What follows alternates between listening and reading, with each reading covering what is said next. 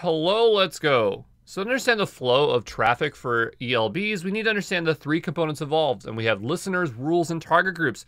And these things are going to vary based on our load balancers, which we're going to find out very shortly here. But let's quickly just summarize what these things are and then see them in context with some uh, visualization. So the first one are listeners, and they listen uh, for incoming traffic and they evaluate it against a specific port, whether that's port 80 or 443.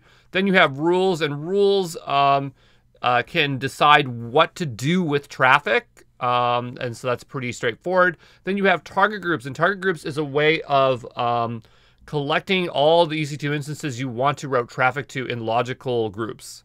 So let's go take a look first at application load balancer and network load balancer. So here on the right hand side, I have traffic coming in through Route 53 that points to our load balancer. And once it goes to our load balancer, it goes to the listener. And it's going to check what port it's running on. So if it's on port 80, I have a simple rule here, which is going to redirect it to uh, uh, port 443. So it's going to go to this listener. And this listener um, has a rule attached to it. And it's going to forward it to target 1. And that target 1 contains all the EC2 instances, okay? Uh, and down below here, we can just see where the listeners are. So I have a listener 80 and 443, and this is for application load balancer. You can see I also can attach a SSL certificate here.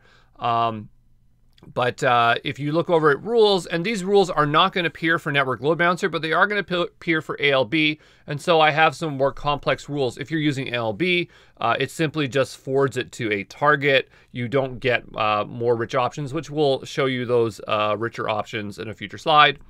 Uh, but let's talk about classic load balancer. So classic load balancer is a, uh, is much simpler, and so you have traffic coming in. It goes to CLB. You have your listeners. They listen on those ports, and you have registered targets. So there isn't uh, target groups. You just have uh, loose EC2 instances that are associated with the classic load balancer.